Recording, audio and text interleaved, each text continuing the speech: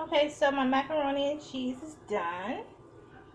So I probably I just put it in the oven for maybe 30 minutes or less. And this is your final product. See? Delicious macaroni and cheese. Mm -mm -mm. Can't wait to fix um, eat it. Um, it's nice and you can look deep down there. Yeah, bake. Oh my God, it's so delicious. Please follow the steps that I use, but not in the order that I use. Sorry about that. And let me know what you think about it.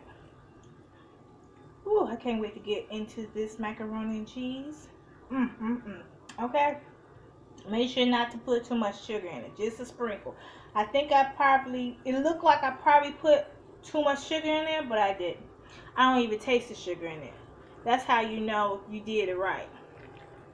Oh my God. I just have to eat some more of this macaroni. Whew. Mm, mm, mm. That's some good macaroni. Mm -hmm.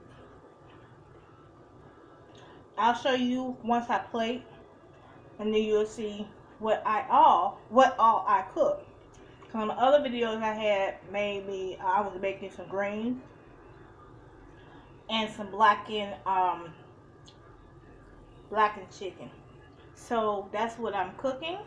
And I made some cornbread, but I didn't make a video of it. Maybe I make a video of the cornbread later. Another time, sorry. So anyway, this is the end. And I will show you how I plated all I, all the food all in one plate in a minute. Be back.